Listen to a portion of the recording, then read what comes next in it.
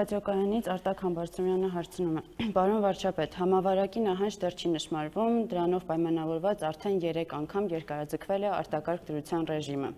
Ձեր որոշ ընդդիմախոսներ պնդում են, որ դուք օգտագործում եք համավարակի այս բարփուլն ու արտակարգ դրության ռեժիմը քաղաքական հարցերի լուծման համար։ Ա, Մասնավորապես նշում են ԲՀԿ ղեկավար Գագիկ Ծառուկյանի դեմ քրեական հետապնդման իրականացումն իրականացումն ու համանդրական դատարանի ճգնաժամը խորհրդանում լուծելու նախաձեռնության արագ իրականացում այն պարագայում, երբ հավաքներն արգելված են ու մարդիկ չեն կարող փողոցում դժգոհություն արտահայտել։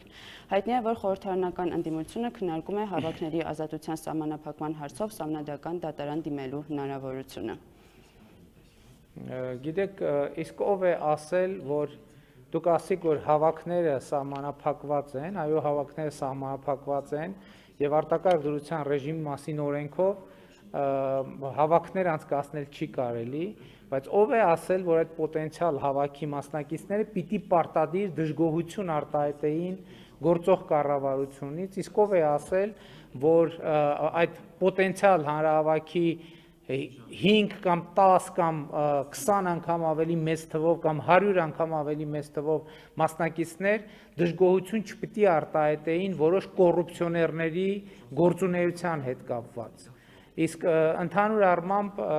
կարծում եմ սա պետք է հաշվի առնել եւ կարծում եմ քիչ չեն այն մարդիկ, պետք է շնորհակալ լինեն այն մարդիկ, ոմանք, որ Հայաստանում արտակարգ դրություն է եւ հավաքներ անելու հնարավորություն չկա, հակառակ դեպքում օրինակ կարծում եմ հեղափոխության կողմնակիցները առնվազն մի քանի դեպքերում զանգվածային հավաքներ կանցկացնեին եւ իրենց խոսքը կասեին մի շարք կոնկրետ դեպքերի անձանց եւ շրջանակների գործունեության կապակցությամբ։ Ես թույլ տվեք նաեւ արձանագրել, որ որոշ, այսպես ասած,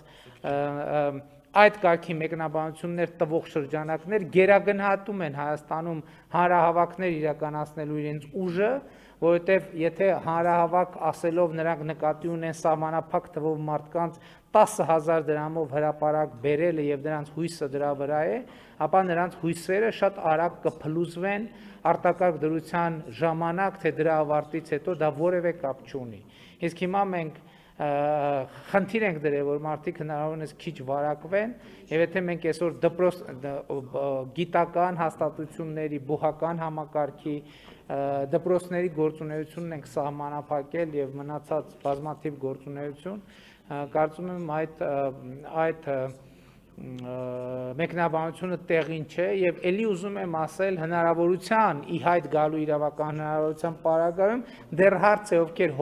հեղափոխության կողմնակիցները, թե կառավարության հակառակորդները ավելի շուտ եւ ավելի շատ եւ ավելի մեծականակ ու բազմականակ հանրահավաքներ կանեն եւ դեռ հարց է ովքեր այդ հանրահավաքով շատ ավելի կոնկրետ, շատ ավելի գործնական, շատ ավելի արագ հարցեր կլուծեին կամ դեռ կլուծեն այդ հանրահավաքների միջոցով։ Ամեն դեպքում կապրենք կտեսնենք։ Երկրորդը Արմեն